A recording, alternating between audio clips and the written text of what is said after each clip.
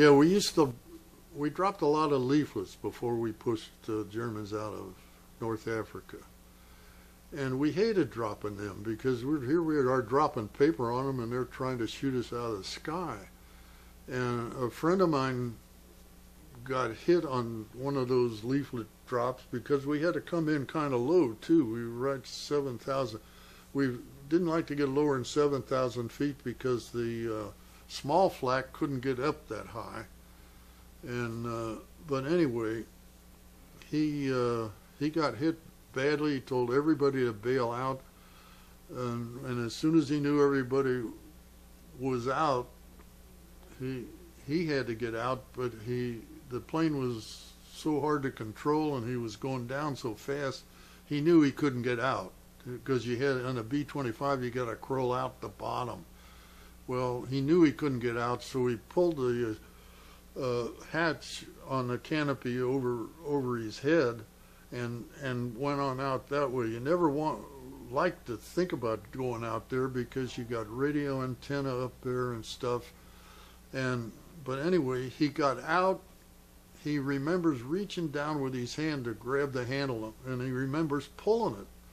But he looked, nothing happened. He looked down at his arm had been cut off, uh, and you know he had done all of this with a, without an arm, and so he put his thumb in and pulled the thing, and by the time his parachute cracked open, he was so close to the ground that just as his parachute cracked open and dropped and broke his fall a little bit, his legs hit the ground, broke his legs, oh, both his thighs and, and his lower legs.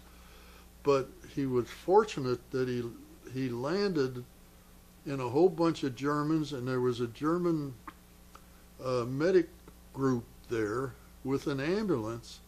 They saw him land. They went over. They put a tourniquet on his arm, stopped the blood which was squirting out of his arm, and he was knocked out, of course. They put him in a stretcher, took him to Tunis to a, a, a hospital there, and the German doctors there put his legs all back together, put put his legs in cast, and the in a couple days after that, the war there was over.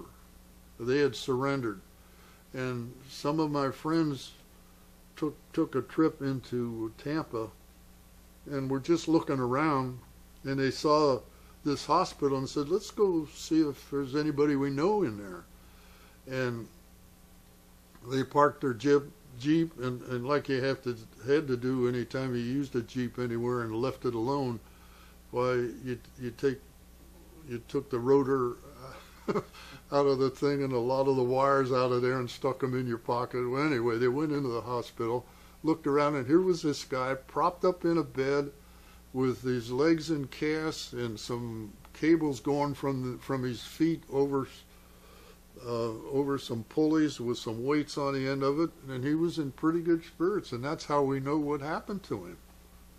But we never heard what happened to him after that. But anyway, that was an amazing story. And that was dropping leaflets. Yeah.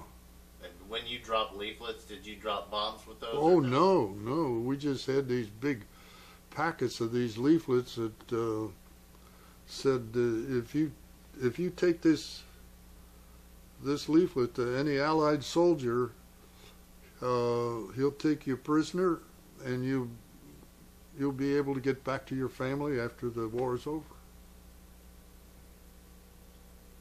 And but we really didn't like dropping those leaflets. But they took 250,000 prisoners at, at the end of that part of the war in uh, North Africa, so I don't. I'm sure it wasn't because of the leaflets, because they had nowhere to go anyway. But maybe a lot of them, you know, maybe it slowed up the. Maybe more people didn't get killed.